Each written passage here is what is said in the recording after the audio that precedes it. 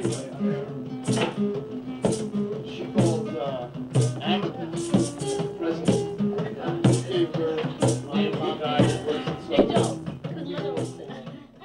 Yep, Bellport High. Actually, when I was coming up today, uh, there was a police officer sitting here. I had to ask him for directions. And then I started telling my girls the story of how they had the paddy wagons and all the police right here. And uh, Pete Torres and myself were the first two taken out. And they just dragged us out. We passively resisted, and they put us in the paddy wagons. And it brings back a lot of memories. That was a really painful time. That was a very painful time in my life.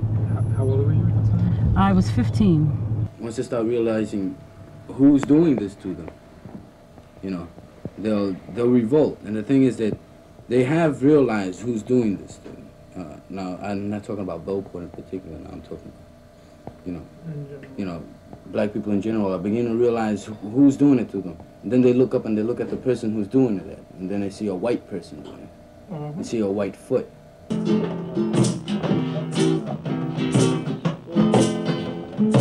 I've dreamt about being back here.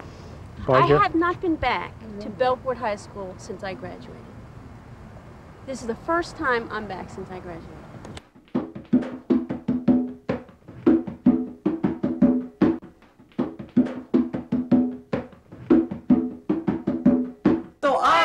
Know, like you walk into school and like you hear eight black students were suspended. I mean, what what is anybody gonna think? All right, what do you think? I mean, I think it's a really dumb move. You think That's it what was I think. I mean, I think it's. You think it was it's rigged? might not have been rigged. You think it was Because it wasn't all black. Well, I, I don't know if it was legal or not. They were, they were weren't all black kids who were involved. It all started, we wanted, you know, uh, black history. We wanted black history in the schools. We, I remember one of the, the sit-in, which kind of really got it all started, was because it was, um, we wanted to put up pic- pictures of uh, Malcolm X and Martin Luther King, and they told us that we couldn't put them on the wall. And they especially objected to Malcolm X. And um, they made us take it off.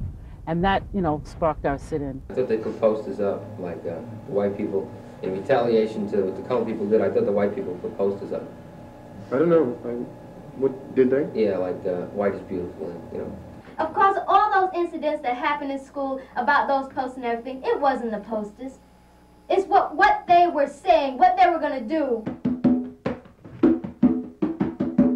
Right. Before the actual demonstration took place, the actual sit-in, because there was Yes. a sit-in, Yes. we all walked out of our classrooms and went into the cafeteria, and there was and there was a multiracial group. It was whites, blacks, and um, and, and and Puerto Ricans. Minorities were Puerto Ricans. I mean, the minority in the group. And I, I remember distinctly saying that this was a black, Puerto Rican, and white thing, and anybody who can't take that should leave right now. And nobody left. Everybody stood there. And from there, we went to the principal's office and demanded to talk to the principal. And the principal, I don't remember the principal's name at the time.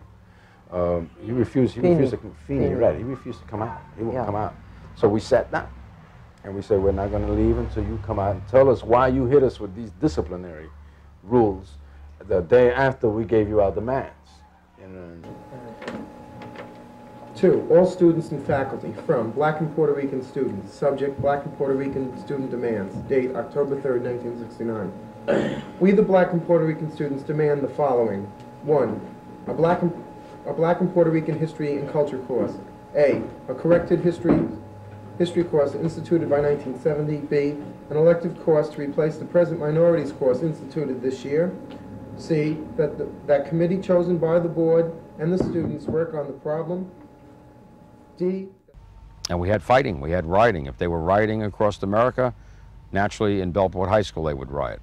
They stopped at the door, came in, and I remember Dingman saying, "Take him," and he pointed at me, and they lifted me up and they took me and they threw me in a paddy wagon. I was in Did you see the anything? auditorium when the, when they were in the Well, be careful. 128, right? And then they moved to the Yeah. cap because you had a class Right, there. and you came to my class.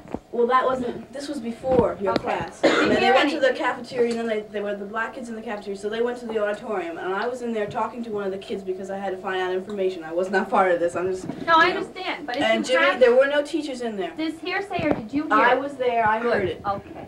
It might not have been these exact words, but he Okay. said, um, "What do we want?" Everybody goes, "White power." let's hear it again, white power, hear it again, white power. And everyone goes, yay. And then somebody says, it's easy for us to be tough today, but we got to be tough tomorrow. Uh, and then they've realized that they overpacked the paddy wagon. Uh, so they started taking people out, and the people that were taking out were the whites that they had put in.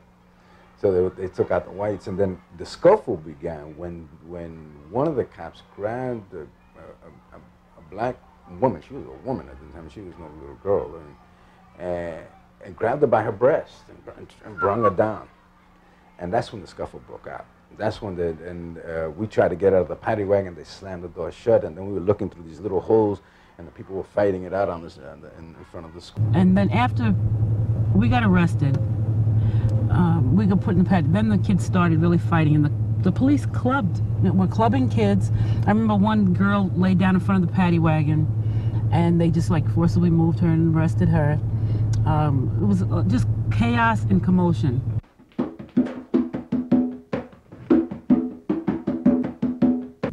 I was kind of upset at the time because it, uh, you know, it, it lost its really true meaning, and it started, and it really became just racially divided, and um, you know, and and like the violence that we had in the school and the, the fighting, and that really I can remember just walking through the hallways crying because that wasn't what I wanted, you know, and and I believe in you know nonviolent uh, intervention, and we you know like to sit in and and just to to see the rage explode into the school that wasn't what I wanted, and that that really upset me. I can remember that.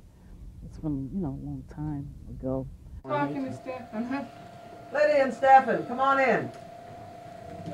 Join the party. Tell them to come in. Oh, They they have- only in free. They have uh, views- There came a time when students began to organize, and we gave ourselves a name, and we got together and we said, what is it we want our school to be?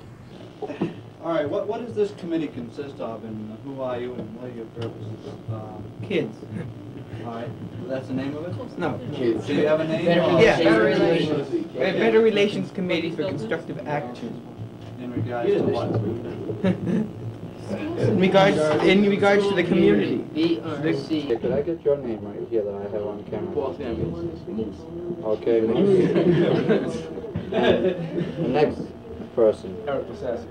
All right, and the young lady, no, yes. Pardon? I can't hear your name. Oh, very good. Andrew Kasoy. Andrew? And the young lady behind you? Who? Rowena Fraser. Rowena? Who's this young lady? I mean...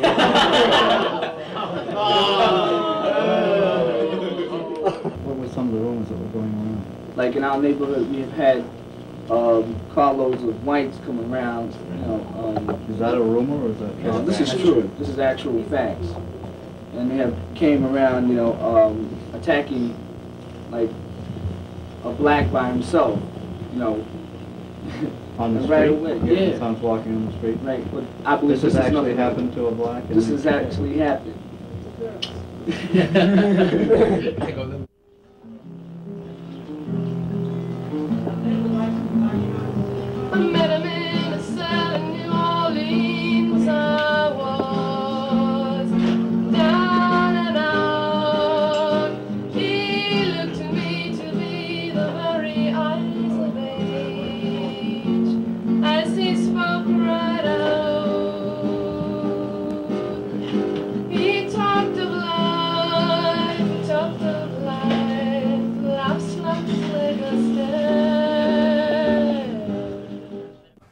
remember about this is that um, it was the first time I'd ever seen, you know, video equipment.